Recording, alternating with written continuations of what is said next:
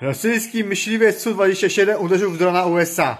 Biały dron, dron znajdował się w międzynarodowej przestrzeni powietrznej. I się kurwa zaczęło. My little war. Moja mała wojna. Przesłać. A jeśli chodzi o nas, nie chcemy żadnej konfrontacji między Stanami Zjednoczonymi a Federacją Rosyjską. O wadze tej sytuacji